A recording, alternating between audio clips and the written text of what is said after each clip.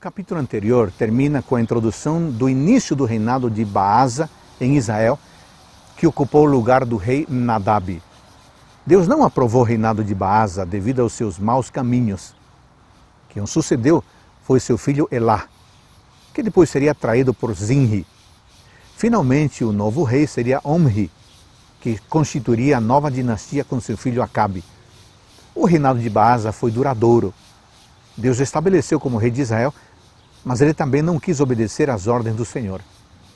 Por isso, Deus lhe enviou um profeta chamado Jeú. O profeta lhe mostrou o juízo que Deus tinha sobre ele por não, por não obedecer à sua lei. O Senhor mostrou a Baasa que, assim como aconteceu com Jeroboão, o mesmo aconteceria com seu reinado. E assim foi. Seu filho Elá foi seu sucessor, que ficaria somente dois anos como rei.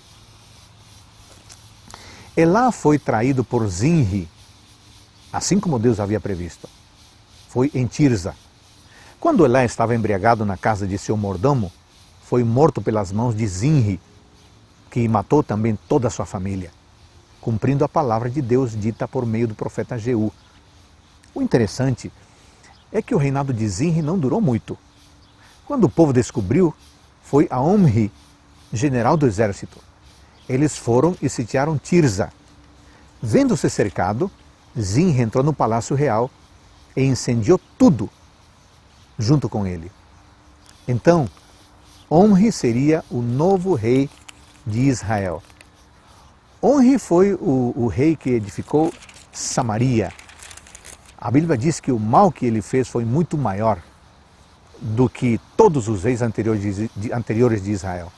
O mesmo aconteceu com seu filho Acabe, que tomou como esposa Jezabel, filha dos reis dos Sidônios, construindo um altar para Baal, deus dos Sidônios, e um templo no mesmo lugar em Samaria.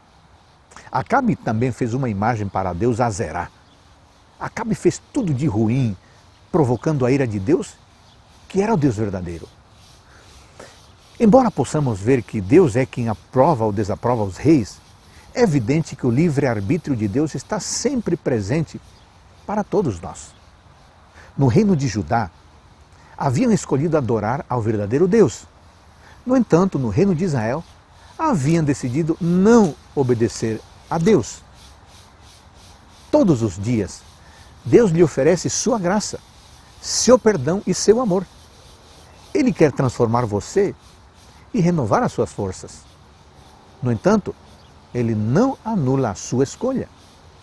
Respeitosa e carinhosamente, Deus lhe oferece o livre arbítrio para que você tenha uma escolha de amor por ele. A pergunta é: que caminho você deseja percorrer? O caminho dos conselhos de Deus ou o caminho que pode levá-lo à perdição? O desejo de Deus é que você ouça a sua voz e decida por Ele. E aí? Você aceita o chamado de Deus?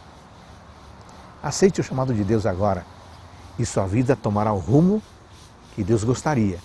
E um dia você receberá a vida eterna. Ótimo dia para você.